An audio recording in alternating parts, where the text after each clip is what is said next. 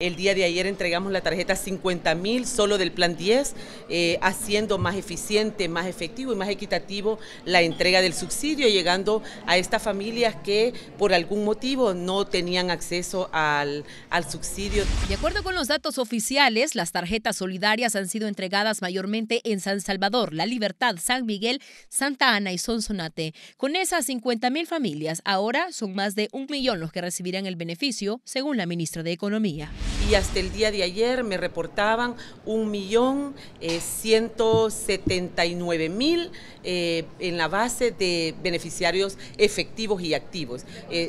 Ya con los 50 mil agregados. De no aprobarse el presupuesto general de la Nación 2019, la ministra de Economía manifestó que el tema de subsidios no correría ningún peligro, pues se trabajaría con el presupuesto actual.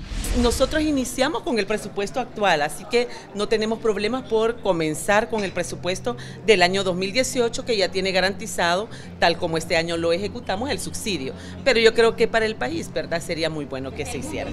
Por ahora, el techo presupuestario para el subsidio al gas licuado asciende a los 70 millones de dólares. 74 millones, eh, anda rondando eh, esa cifra.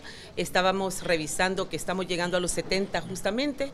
Vamos con los, con los gastos que nos habíamos proyectado y en materia de energía eléctrica probablemente este año se tenga eh, eh, una inversión, porque realmente es distribución territorial, de alrededor de 50 millones en energía eléctrica. Por otro lado, la titular de Economía también informó que la misma base de datos de las familias a quienes se les entrega el subsidio se ocupará para otorgarles el beneficio de las cajas decodificadoras. En el encendido digital del país también se la hemos eh, aportado a CIGED para que evaluemos de manera este, conjunta los beneficiarios potenciales. Por supuesto que ahí tienen que hacer otros cruces eh, que sin duda van a ser necesarios, que se van a hacer con las distribuidoras y las operadoras para ver quiénes tienen acceso a, sus antenas ya propias, ¿verdad? Y quienes no tienen eh, una señal digital. Eh, para el noticiero, Claudia Campos. ¿verdad? Que ya tienen directamente conectadas las familias. Y las